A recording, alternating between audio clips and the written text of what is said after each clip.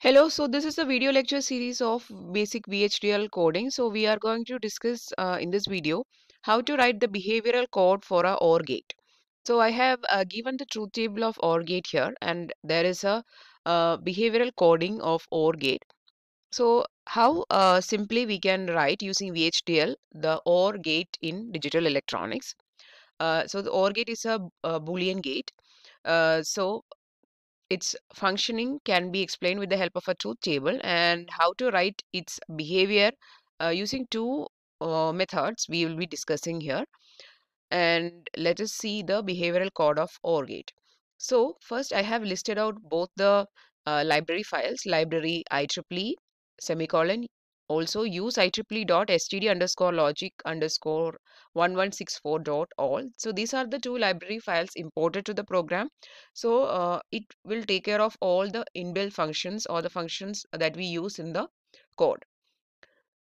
Next is uh, the entity. So there is only one entity or one functional unit being uh, discussed or being coded here. So there is only one entity. Entity.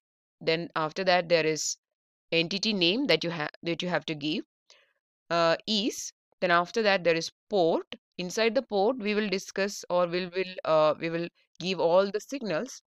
So how to write an entity and all we have already discussed in the earlier uh, video. The in the basic uh, video of entity we have discussed that so inside this port, we will be listing out all the signals. There are input signal, output signal, in-out signal, various types of signals is there. So here for this uh, code, there is only uh, input and output signals. There are two input signals uh, that are the input of the OR gate. Then there is an output signal which is F, which will be the output that is getting affected by these input signals. So X is in std underscore logic, y is in std underscore logic. That implies that they are input signals. F is out std underscore logic, so that uh, says that it is an output signal. Then end entity name. So whatever entity name you have used here, you have to use it the same here as well. After that, architecture. Then you have to give an architecture name of whatever entity you are going to describe in this architecture, give that entity name is then after that begin. Then I am writing this code inside a process. So process x comma y. So x and y are the uh, the signals that is uh, means that is controlling this uh, functionality. So x and y are being given in the uh, in the process sensitivity list. Then begin. If x equal to 0 and y equal to 0 then output will be equal to 0 for what whatever condition uh, whatever else condition is uh, happening or coming f will be equal to 1 end if end process. Then end uh, architecture name. So whatever architecture name you have used here you have to use here as well. Then using another method you can write the architecture which is a very simple method.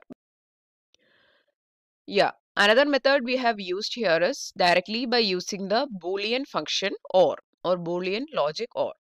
So we know that here if x and y equal to 0 f will be 0 x and y equal to 1 means f will be 1 if x or y any of this is 1 means also f will be equal to 1 that is the or gate in uh, boolean logic right? So f equal to x that is f is assigned the value of x or y. So this is this or uh, means that we are applying a boolean function or semicolon. So this is the this function or this statement will take care of all the functionality. Then end the architecture name. Yeah, so this is how we will write the uh, behavioral code of a OR gate in VHDL logic. Please continue watching this series uh, for finding out the behavioral code of other uh, Boolean functionalities or Boolean uh, logics or Boolean gates we will be discussing many other things also towards the end of this series.